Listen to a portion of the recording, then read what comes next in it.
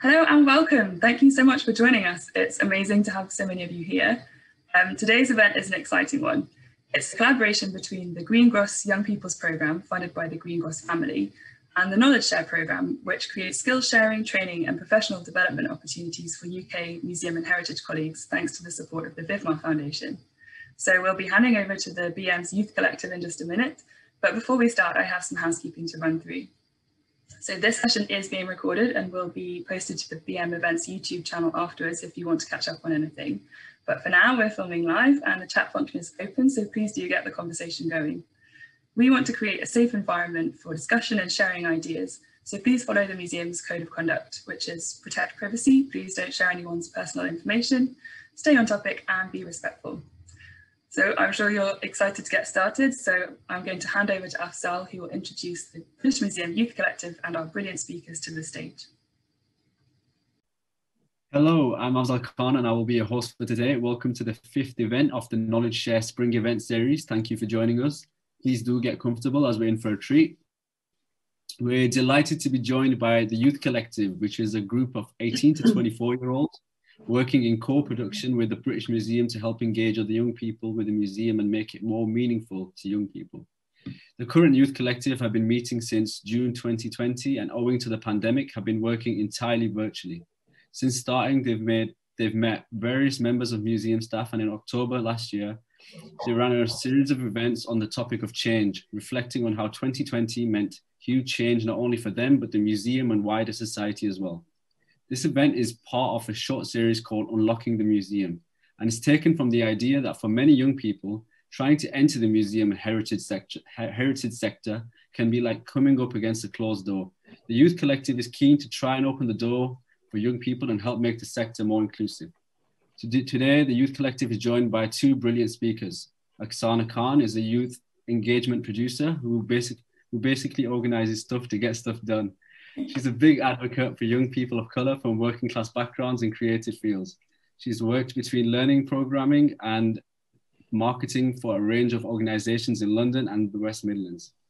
Michelle McGrath founded the museum as Muck Network in June 2018, frustrated at the lack of working class people in the museum sector.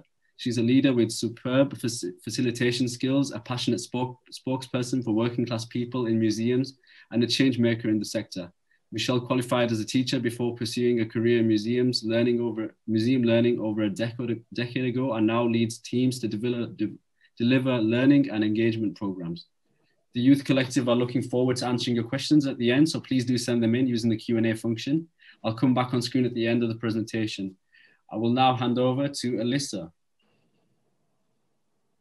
Hello, I'm Alyssa, and I just wanted to start off by asking you uh, if you could highlight some of the challenges that people of colour and working class individuals as well uh, currently face in the sector. Great, thank you, Alyssa. Um, so it's still 2021 and we're still in a global pandemic, um, which means that comes with its own challenges because if we're talking about all the youth engagement and recruitment stuff um, in this in the art sector, you guys are handling like a really tough crisis at the moment, not just in terms of like what you're doing with your career, but also mental health and also just how entrenched barriers have become over the past year. Um, so you're navigating a lot. And with that, you've got the pandemic amplifying things that we know to be true about the museum sector on the whole that it is quite classist and it's quite racist as a sector too. So you're navigating those barriers. Um, and that affects how museums do the work. So we have a Eurocentric interpretation of our heritage, we have white saviorism when it comes to community engagement, we face more discrimination as well when it comes to applying for jobs as well. Um, and yeah, it's just tough. It's tough at the moment. And when you've got all of that going on in the background, anything to do with diversity and inclusion, it's written off. It's not necessarily seen as non negotiable to just counteract the barriers that I've mentioned. So, yeah, Gen Z, like, I feel for you guys. Michelle. Thanks, Aksana. Um, yeah, I feel for everyone right now, but um, you know, particularly for oppressed groups such as people of colour and, and the working class community, um, not only have they been disproportionately affected by the global pandemic, um, they've also been um, kind of left out of the museum agenda traditionally. Um, and I think, you know, if we're just thinking about some of the basic structural barriers that, that these groups face, um, first and foremost, you know, are museums relevant to these groups um, in their representation within their collections, their programming, their staffing, um, you know, muckers who are working class members of the museum's muck network. So I'm using a bit of jargon there already, sorry, but um, you know, when when before they got into museum careers, it, it is not necessarily somewhere that they saw themselves being. Um, so it's like, how can you kind of aspire to be part of um, the museum sector when you don't see yourself there?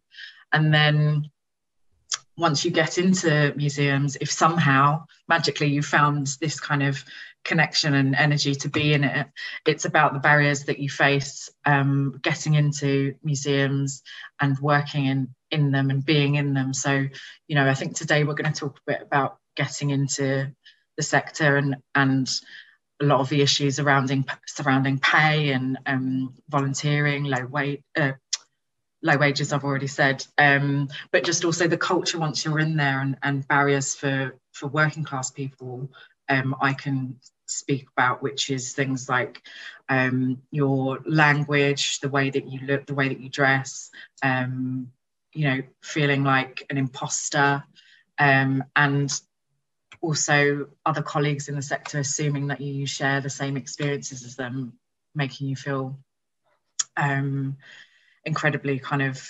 um, prejudiced against, and it just being a bit of a hostile environment to be in.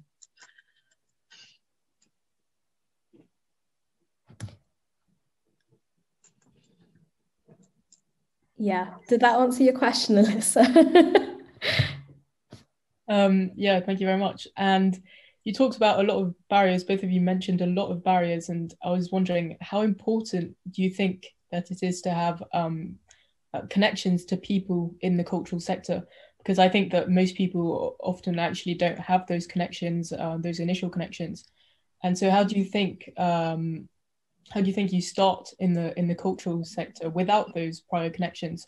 And and do you think it encourages nepotism as well? Oh, for sure. Yeah. I mean, it's one of those things where when you want a career in the arts, it's not a level playing field when you're trying to enter it and you really do feel it the longer you stay in the art sector.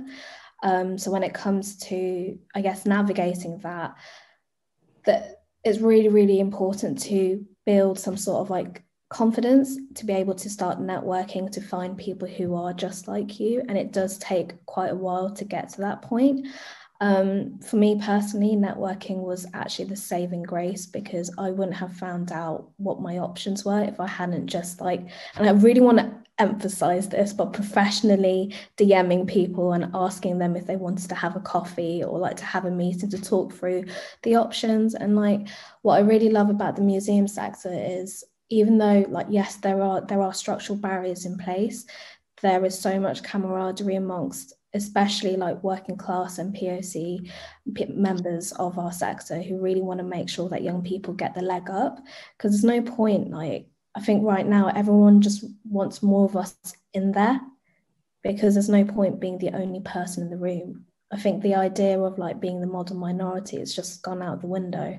So, yeah, for changing sectors, it's really important to just reach out. Yeah, I'm just uh, nodding along there. Um, 100% um, agree that, you know, um, nepotism is rife in the sector um, and has been from the beginning. Um, I think in terms of networking as a tool, I resisted it for a really long time just because I think, well, number one, I think maybe I just wasn't as confident about it. And partly I was a bit like, oh, what's networking? That's a bit cringe. Um, and I and number three, I didn't know how to do it. If like, you know, I I, I didn't know how to um, navigate professional workspaces. I didn't have that experience. But um, I would say that it is worthwhile um, doing. So um, think about, um, you know, who who you are and what you're bringing, um, and remember that you are just as entitled to be in the sector as anybody else. And um, as Aksana says, find your community. And that's a brilliant way to start. So um, think about the people that you share values in common with and connect with them and have that as your kind of base network. Um, and you'll start to make connections and, you know, um, the, the, the, museum community is relatively small at the end of the day. Um, and it is um, pretty pretty kind like you know once you do reach out to people they they they say yes and they go for coffees with you um so learn how to network and um reach out to to those communities yeah and like to just build up on what michelle said I think networking as a phrase seems really intimidating because when you go through school, people are like, you need to get to know the ma- your manager's manager and the director, and it's always like, how high up the ladder can you go? But like, as much as you can go that way, there's also so much merit in going sideways as well and getting to know your mates on the same course as you and people on the same like level as you and sharing the same job title too, because you never know where people are going to end up. So yeah, like you guys are your own network as well, especially being part of the youth collective like it's going to be really exciting to see what each of you are going to come up with in the next year. So yeah. Yes all all young people join together and take over. Yes please. Thank you so much for that question alyssa. Um, i think we're moving on to olivia now Hi, so the question that I'm going to ask you both um, surrounds volunteering, and I'm sure there's lots of people watching today who are very aware of the breadth of voluntary roles available within this sector. Um, and although volunteering can provide you with a lot of skills and you can meet a lot of new people, it isn't accessible to everyone. Um, there are people who can't volunteer because it's not financially viable to them or that they can't commit to that time. They need to be working um, for during the week. So I guess my question to you is how can we navigate this kind of expectation to work for free um, in order to kind of secure that first job in the sector um, when it isn't financially viable for many? And how can we make it the responsibility of museums to factor in that social barrier um, when considering applications? That's a great question, Olivia. Um, yeah, so I think it took a while for me to un- like to realize this, but young people like you're always going to be marketed to when it comes to public programming. So if you get to know what uh, what different organizations are doing you can effectively shop around because fundamentally you are justifying someone else's job. So what you want to do is assess what what kind of organization slash program volunteering program you want to um, take part in. But ultimately don't do it at the risk of your own well-being. Like no organization is worth you going into your overdraft. Like i can't emphasize it enough. And when you have someone who has like especially when you're starting out and like you see your age mate and they've got all these like fashionable logos in their linkedin and it looks great but they're either well connected or they're broke. And ultimately like think about what do you want to prioritize and when you're in a position where you are financially able to look after yourself, that is a massive accomplishment. And if you have a gatekeeper who challenges that, like screw them. But that's not a place that you want to be working for. Um, so yes, know what your what your boundaries are. So your time capacity. So for me, when I was at uni, I couldn't afford to work with no pay for longer than like five days and it was just more like what what did i really want to get out of it and secondly like have a punk attitude and fight back. Like like have an internal deadline of how long do you want to have the phrase volunteer or intern on your cv for? Because especially when you are that age gap between 18 to 25 there's so much out there you're going to feel like at the end of the day like a perpetual intern.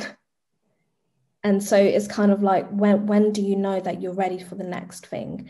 And i think the the other thing i was going to suggest is as great a career in museums is, like it's not the be all and end all. There are other places who'd be more than happy to take you. And I know it might feel really soul crushing when you're applying for jobs in the first place, but there's loads of art sectors out there that who really want the skill set and the insights that you bring in their in their field as well. So there's loads of options, even when it doesn't feel like it. That was a bit rambly. No, that was that was great. Um, I think I would echo uh, like well everything you said, Aksana. Um, and I think that we both did spend time volunteering. Um, in, you know, at the beginning of of getting into our jobs and careers. Um, and it kind of feels like something that it was just part of the course, like it was just accepted that that's what you have to do. And I imagine that both of us obviously um, took on, a, you know, different amounts of um, deficit, whether that was like money or time. Um, so I think the I think the sector has a lot of work to do actually in terms of volunteering. Um, and Olivia, you, you you mentioned, you know, it, it, it's up to me, must be up to museums to kind of address this because there's not enough alternative ways to get into the sector, and what the sector needs to offer is paid, structured, um, you know, traineeships, apprenticeships, paid internships and not volunteering um, routes necessarily for young people to get their first kind of steps on the ladder. Um, volunteering obviously is, you know, um, great and relevant and for people who want to do it as a passion, as a hobby alongside, you know, whatever else they're doing, brilliant. Um, and volunteers are so valuable to the sector, but it shouldn't be the only way that, that young people can gain experience. Um, so I think that we need to put some pressure on the sector around that. Um, and yes, look for those opportunities that are paid, that are structured, that are formal, that are absolutely giving you the experience that you want and that you need. And if you're if you begin to communicate with museums about taking on a position, make sure that you kind of state what you want to get out of it and the areas that you want to develop um, so that it's really working as hard as possible for you Great. Is that okay, Olivia? yeah, that was really great. Thank you so much. Thank you. Um, shall we move on to Emma? Hiya. Um, I wanted to ask a bit about freelancing because um, it seems like it's quite an attractive um, way of working for a lot of young people at the moment.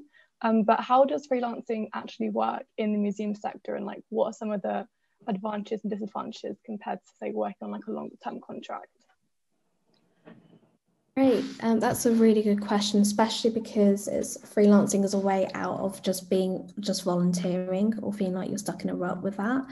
Um, so freelancing is quite simply museums they have a bank of people that they don't necessarily hire on a permanent full-time basis. And it just means that they've got the a list of people that they would like to work with across like whatever um, whatever is their skill set and for particular departments and particular projects as well. From a muse like from a like a manager's point of view, it's quite cost effective because you're not paying for that person's like national insurance and tax and pension and all the other things that you would do with an employee. But the benefits for being self employed is that you get to like play the field a lot and that's great because you get to sample different teams different organizations different work cultures like different people. And you if, if you're someone who is like indecisive like me i say indecisive like i just really want to do everything and i don't want to be told no that i can't.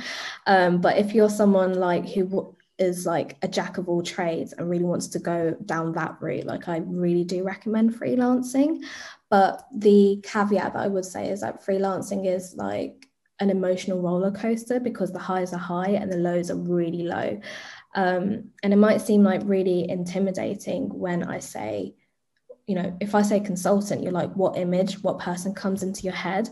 But if, if you're self employed, you're basically on a zero hours contract there is no difference because you're constantly hustling to make sure that you've got X amount in your bank account by this time. So when you are freelancing, you have to take into account your emotional well-being, take into account um, just like you, you need to be resilient as well because you're always going to be hustling constantly. Like I can't remember the last time when I've not had to apply for something. So you do have to watch out for that. Um, and I think when there is like a crisis like we are right now, freelancers tend to be like the bottom of the pile in terms of consideration because um, organizations automatically think about how do they look out for their staff first. So if you're someone who has got like certain clients that you go back to, you might realize that you'll get ghosted. So yeah, that's like an overview. Michelle? Um, that's great. I think it's really useful to have that overview. Um, I've only done I've done a lot less freelancing than you have, Aksana. So, and I think if you if you don't know that world, it, like it's a bit um, mysterious, isn't it? So that's really good to have that that breakdown. Um, I think, yeah, it's advantages and disadvantages, isn't it? And and weighing up whether it's right for you as an individual. Um, obviously, in terms of um, becoming a successful freelancer, I think we have to draw on those things that we were talking about earlier about networking and knowing your value and and and you know putting yourself out there. Um, yeah, museums will kind of you know get to know certain freelancers and and and obviously if they like your work, they'll keep working with you. Um, there is I, I, wanted to point out that there's actually a network called museum freelance which again there you go already there's a community available but on their website they've also got loads of resources and tip, tips and hints and things for people who are interested in freelancing so i'd say that's a really good you know first port of call um, to see if it's for you um, and uh, you know also trying to find somebody or somebody else or other people who've done it and and find out about their experiences. I think there's probably a lot to learn. Um, and another point on on freelancing that I just wanted to kind of put out there. Again, this is this is more about museums and um, employers and leadership. Um, but when you're a freelancer, like you say, sometimes you can be um, put to the side a little bit and and your your needs aren't always necessarily um, at the forefront of of um, people's minds in museums. And i think that you know for example as museum as muck if we're um, working freelance one of the things that we have to do is is remind people to pay our invoices on time. And that's really important when you need to plan your finances. Um, if you you know you, you haven't just got some some some cash um, in the attic lying around to to to pick up to pay your rent and bills you know you need to um, be able to plan your money like you said. Um, so we have to kind of keep on top of um, museums as well and be like you know freelancers need x y and z. Um, so yeah um, a bit of kind of push, pushing pushing back again um, and just making your your needs known i think. Um, and, and, that's in order to kind of um, prevent um, your well-being kind of dipping you know putting those things in place beforehand um, setting out your expectations. Yeah like a lot of what i learned from freelancing came from I, I was on the young freelancers program at the london transport museum. So they'll be opening up their recruitment i think hopefully next week fingers crossed. But it's just a way it's like a really nice gentle intro to just understanding how does freelancing work because when i was trying to figure out what i wanted in in museums land if i came across a consultant chances are they were a posh lady with like brunette hair and like with 300 kids and it's just like that's not my life experience. And i don't know like there's i know there's an aspect of like i can learn from you but like i won't necessarily get where you're coming from because that person that consultant they're freelancing because they can afford to freelance. Whereas like young people who start out as freelancers it's because they have had no other option to. And it's just the other side of the coin to being on a zero hours contract. Mm.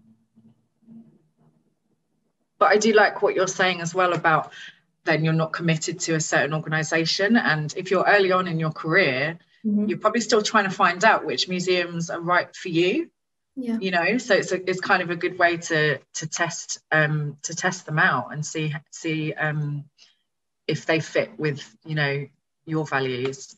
Yeah. Like there is no like I think w- the best thing about being freelancing is if I'm treated like crap, I know that that's not the norm and I have the confidence to leave whereas like unfortunately when you when you say if you go for an entry level job and you get in you don't know the other world. You don't know that there are actually kind people out there who know boundaries and know how to like pay people on time. So it's just yeah like you just get to know what you what you value and what you don't and you'll be like more bolshy with it because you have to keep thinking about your contracts and your rights and your cash flow. Mm-hmm. yeah um, does that answer your question, Emma? Yeah, a lot of useful tips there. Thank you. okay. Um, so we've got a question from Becky. Hi, I'm Becky. I'm from the British Museum Youth Collective. I have a question for you guys on future collaborations. Do you think there is a possibility that both of your organisations could collaborate in some way in the future with a particular focus on helping young people enter the sector? Thank you. Thanks, Becky. Um, shall I kick off, Aksana? Yeah, go ahead. Um, I mean, yes, like um, Museum as Muck would would love to do that. I think um, that would be amazing. Um, we have, you know, Detox and, and Museum as Muck um, do um, kind of, you know, um, support each other and and and speak to each other. Um, and we have already collaborated on um, a program called Space Exchange, which is um, it's actually a pilot run by an organization called Space Invaders, which is um, for feminists in museums.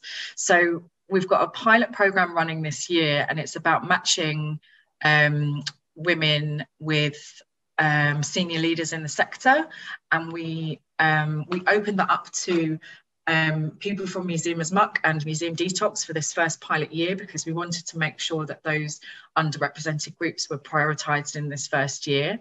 Um, so that's um, been going on for a, a few months now, um, which is fabulous, and that really has. I think that really has led to you know a bit more communication between um, between all of us and the groups. Um, so hopefully that that pilot you know will go on.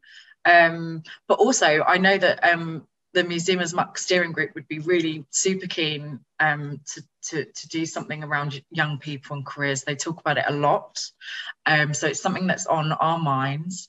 And um, collaborating with Detox is also something that we've, we've spoken about as well. So we're here, we're ready.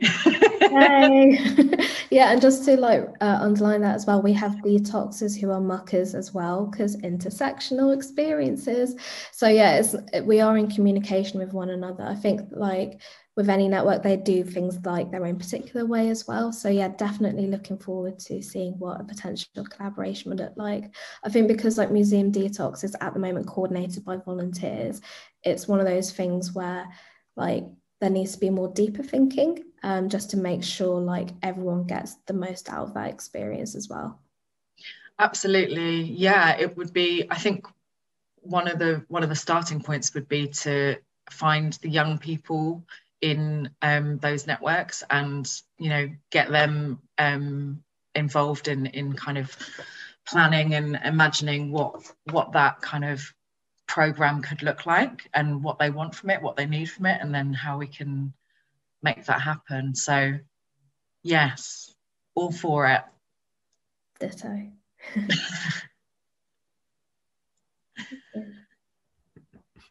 Great. So, are we on to the live Q and A? Yeah, I think maybe we're going over to Kira. Oh, sorry. Sorry. Hiya. Um, so people have been sending in their questions. Um, um, one that builds quite nicely on what you've just discussed there. Um, so you've both spoken about the effects of classism and racism in the industry, but um, this person was curious about whether you'd faced any struggles in terms of sexism. Oh, yes, just about every day of my life. um, yeah, I mean, you know, museums are, in one breath, I was going to say, well, they're just representative of society and those prejudices that are there. but then at the same time, I say museums aren't representative of society because they don't have all the communities in. But um, yes, and um, Space Invaders, the group that I previously mentioned, um, obviously talk about this a lot. Um, and I imagine that a lot of us here today will have our own individual stories about um, um, sexism in the workplace as well. Um, so yes, uh, multiple oppressions going on.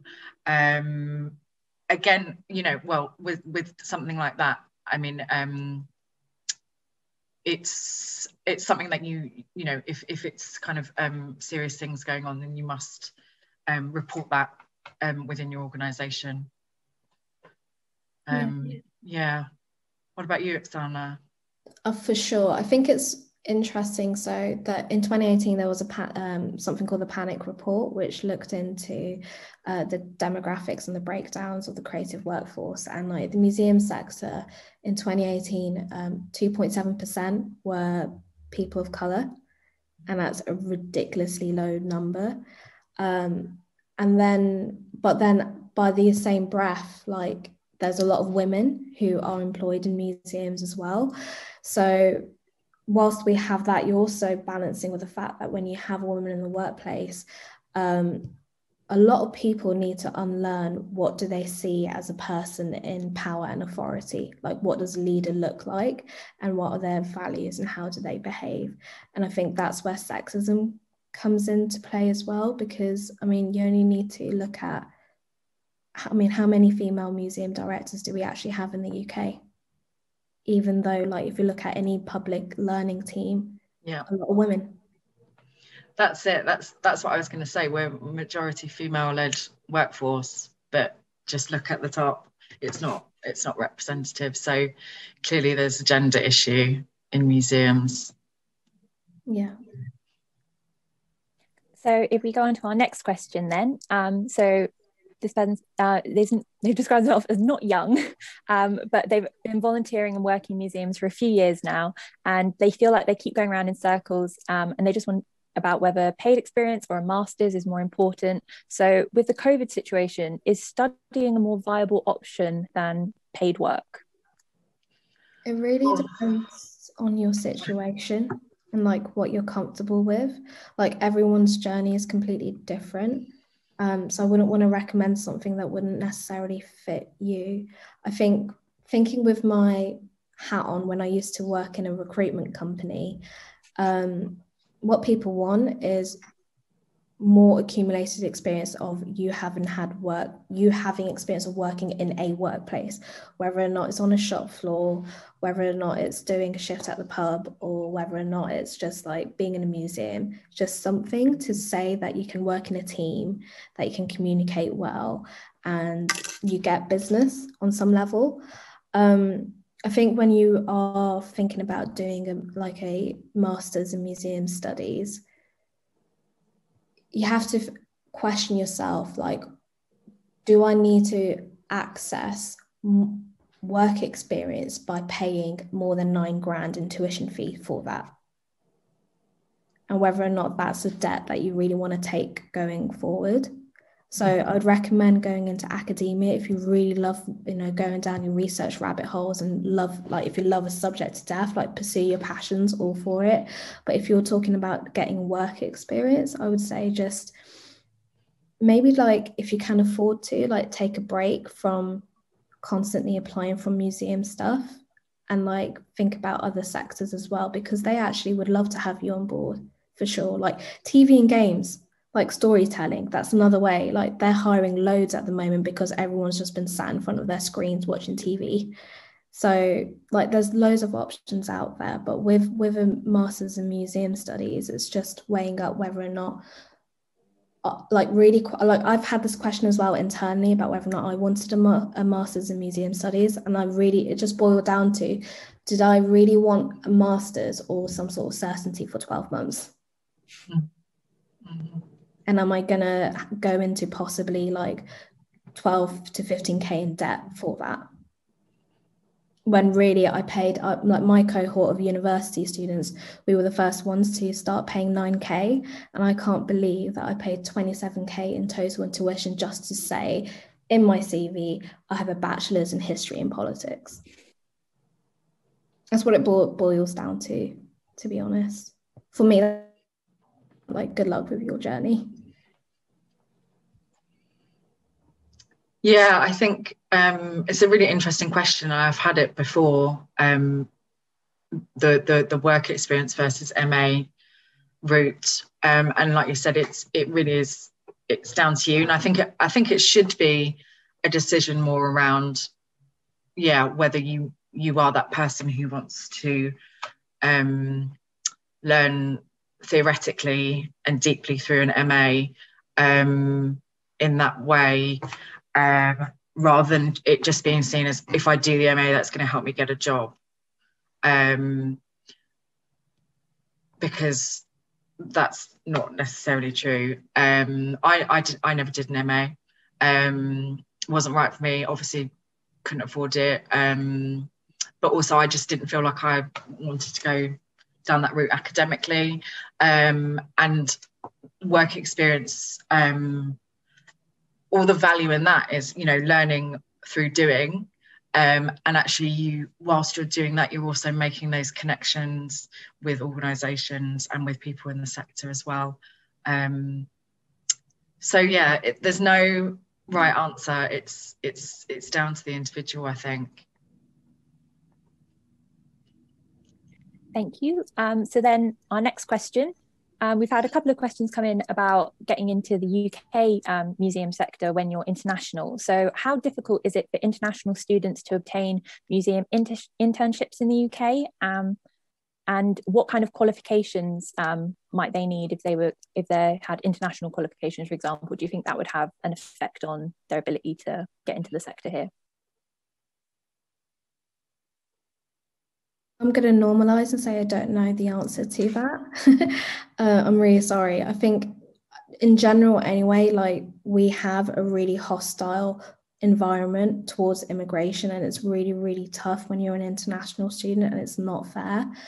Um, and I know that, like, explicitly, no employer will say that they do not want an international person, but when they're asking questions about what tier visa you're on, that that in itself is quite questionable about what their intentions are and whether or not like they ask them that question to rule out potential candidates. Sorry. Yeah i mean I, I love that you normalize saying that you don't know. Um that's a quality i've i often admire in people and I, I'll, I'll have to say that i don't really know the answer either. Um but I, I I'm struggling to even think of how to direct or signpost people to to the right answer. So if anyone ha- has a response that maybe they can put it into the chat and, and that can be shared later on. Yeah. Because I'd love to know more as well. Because I think whenever any museum, like, you know, learning team, whenever they program for things, they don't take into account that not everyone who goes to those events or workshops or that volunteering program is a British citizen and the mm-hmm. barriers that they face because of it. So there's that citizenship issue and also just thinking about like how Anglo-centric our programming is and how that's a barrier as well. Um, so yeah, a lot of food for yeah. Thought and just i suppose in terms of recruitment and and that question specifically around you know what qualifications um, might kind of translate or i mean i think that museums thinking about recruitment um, you know we're we're often kind of um, driving them to think about whether you know they say do you need an ma to do this job? Do you need a degree to do this job can we think about roles just more in terms of skills and experience um, and that you know by leaning towards that way of recruiting then maybe that opens up you know um, international students um, in terms of thinking whether their qualifications apply or not, just in terms of those kind of formal qualifications. But yes, I think we'd love to hear more if anyone has more expertise than us No worries. Um, so then another question for you guys. So how can I get museums and other institutions to reply to my job applications? Would it be considered impolite to send a follow up email if I never get a response? This is something I've experienced as well. so this is definitely hitting home. Can I, can I just be honest? I applied for a job in lockdown 1.0 and I've still yet to find out whether or not I'm going to be invited for an interview. Fingers crossed. Fingers crossed, I'm in the running. yeah, no, yeah, it's not no. yeah, like it could be. It could oh um, no, it's not. Look, it's really not too much, or it, it's it's kind of it's rude for people to not get back to you when you've put effort into applying for jobs. Um, as somebody who has spent a lot of time filling out those applications and going through that process, um, I think you know a minimum is like um, a response to acknowledge that. Um, as somebody who hires, I will say that in ter- in terms of feedback, um, if you haven't been selected for interview, um, that's not something my team has capacity to do, and it's, it's literally about capacity. So I can't get back to everyone who um, won't get an interview, but I will always provide feedback for somebody who's been to an interview, um, and I will always respond and acknowledge, um, you know, an application because and and I will try to say how much I appreciate in that application the time, the energy, and the effort that these things take because I really do understand um and so yeah i mean i feel free to chase people if they haven't responded yeah. Yeah like for for the record i did chase still haven't heard back. But i think with with with when, when it comes to just the way that i i did applications is when i sent the email of my cover letter and cv in that email text i would say can you please con- confirm the receipt of my application? And that would be the jolt to hopefully get them to say yes i've got it.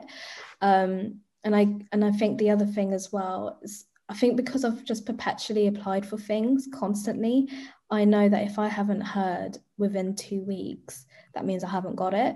And for me to just manage my emotional well being when it comes to job applications, I don't work longer than three hours on something because it's not worth it. Like I don't know whether or not it's going to end up to uh, you know to a job, and you know because it's so competitive, more often times I don't get the gig. So for me, I've just saved myself from getting really like but hurt about it when I don't get it. So yeah, three hours, and I and I and I'm just a bit like I have a formula. So when it comes to like the cover letter, like I I tailor it to the organization, but I have like certain sentences that I do use to show an example of whatever is in their person spec as well. So it's more thinking about how can you save yourself just the emotional rigmarole when you don't get it as well. And I think the other thing, just to echo with what Michelle has said, um, a recruitment when a, when an organization is recruiting, like what they do is really a, an insight into how they will be if you were to work for them. And if they don't respond kindly or in time, Lord help you. Because that just means that team is really busy and like they can't afford to have those conversations, like meaningful ones, if something big were to come down the line. Yeah, good tip there. And I, I love the three hour rule. I wish I could tell that to my younger self. That's a really good one. And I think of how many like TV episodes you could have watched in that time. Right? but I could have enjoyed myself. So yeah, like I always made sure I never did an application on a Friday, Saturday, or Sunday. this is amazing. Like I just didn't want to such good self care, boundaries. Yeah. Really good. and just like and i think the when it comes to chasing people call people up i don't know what it is but jet like millennials hate phone calls call them it's a power move so yeah that that usually helps get things going Oh my god, I so wish I had these tips when I was applying, like with my little color coded spreadsheet of like, oh, they've got back to me, like that was a no, like, oh, I haven't heard from them in six months, like who knows, we'll see. but um, thank you for that. I think that's going to be really good um, for anyone out there who's applying, really inspiring. Um, so then you both represent networking groups for marginalized communities. Um, do you know of any similar groups for queer or LGBT people looking to get into the sector? Yes, there there are there are there are um, a couple, a few. Um, I oh gosh, let me think. I'm um I just know them through their Twitter handles. This is this is what I'm trying to think of. It's the it's all these people you're you're on Twitter with. Um how terrible, I can't think of any. There are.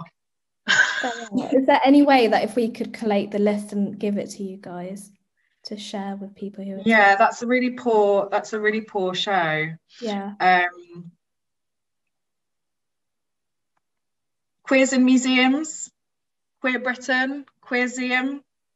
Oh, Museum Bums. That's a good one.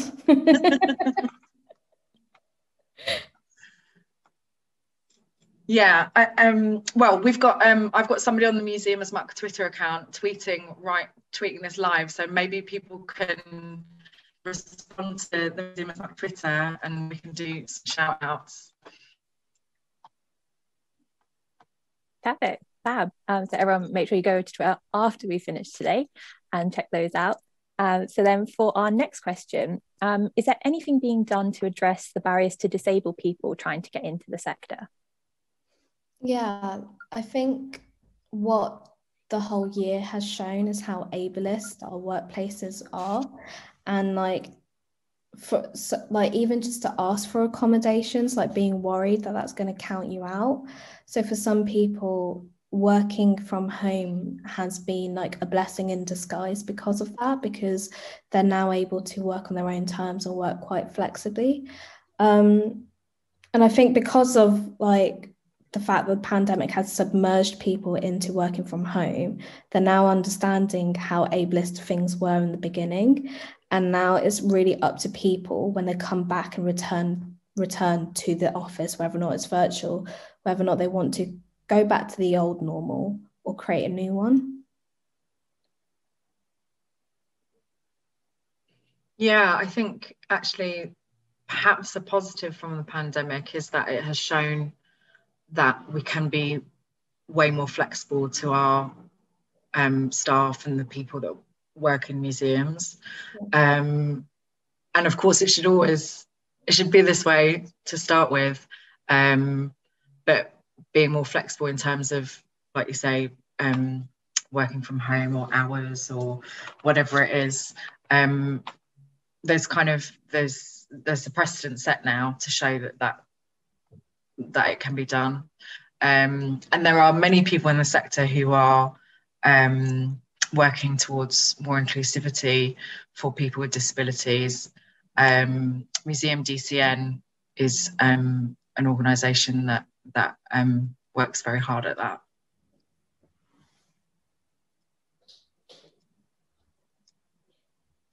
Thank you. Um, so for our next question, um, so we obviously talked about men, uh, networking earlier um, as a tool to meet people within the museum and the heritage sector. So um, to just follow up, is there any elaboration on how to how to get about this? Are there any do's or don'ts? Um, and how do you navigate getting a job experience or applying for a job um, through that? Sorry, like in terms of networking, a how to? Yeah. Message someone, like be polite and like a sentence or two about why you're reaching out to them and what would you like to get out of it. And then if you do go ahead with like meeting virtually on Zoom or having a phone call, following up and saying thank you and just keeping in touch. Um, I think when when I was at uni, everyone always really emph- emphasized LinkedIn, and I've I really don't like LinkedIn. It's horrible if you're a freelancer because it just makes you seem like you can't hold down a job but like with um yeah like is really good for that because you get to know someone's character and you get to know what their values are and like even like sometimes museum people don't necessarily want to talk about their job all the time like you can bond over shared interests like i don't know brooklyn Nine-Nine or selling sunset or something. so yeah, there's there's more. Like I think if you just talk about it, like approach it like if I wanted to be friends with someone, how would I go about it? Yeah, that's that's that's a good idea actually. Yeah, I think that it is. It's like I think networking whilst being yourself um, and not necessarily trying to act the same way as as other people in the sector um, like bringing your own identity to it um, and whilst you're doing it just make it really just tell everyone i'm looking for a job i'm looking for a job just make it really clear that that's that's that's what it that's how it leads into um experiences because you know um Aksana might have I might have met her for coffee and she'd say, look, I'm looking for a job in museum learning. And then next time I see a, job come up, I'm like, oh, Aksana was looking for a job like this. I'm going to forward it to her. So therefore, you know, people will um, kind of think of you and signpost you to opportunities as well. Yeah, like thinking about Uh, the, the way that I did it was I was so like, I think I was just really academic when I was like like I had an academic approach to the job hunt. Like, so I looked at the job I'd like to have, like immediately. And then the job like that would be the dream job. And I would oftentimes, because people are hiring, you know, I just tend to save those job descriptions. And like, honestly, like, you say researching, but it's really stalking on social media. like you find people who work for whatever organization that you like to work with and you just follow them. Um, that sounds really stalkery, but it's more like in a polite way. And I think what you find is like Twitter is such a good space for just getting to know people. Um, and half the time I actually do forget that like I'm meant to be using my Twitter somewhat professionally, but like I really don't. so yeah, I think it's more that what what Michelle was saying about like being yourself like I can't emphasize that enough. Like there's only one of you. Like you have the flavor and the sauce like be yourself. You don't need to be someone else that you're not. Like when when as you get older in the field people will eventually be looking up to you and if you are like just you just you and that's it that's more than enough and that's inspirational oh i think that's really lovely uh, so, how can we decentralise the sector to improve access and opportunities in museums that are outside of London? As in, have more gigs outside of London? I think so. Yeah, so I'm um, so I grew up in London and I'm currently based in a town called Leamington um, in Warwickshire, and unfortunately what you have to do is look at where the you have to follow the money trail. Um, and you can see which organizations have larger pots of money outside of london. And those organizations tend to have those programs for developing skills um, for young people um, and they tend to be again unfortunately quite cities based as well. So if you can't drive you're quite limited. Um, so it really depends on what the setup is. That's like the bigger picture. So chase the money and unfortunately it's quite city focused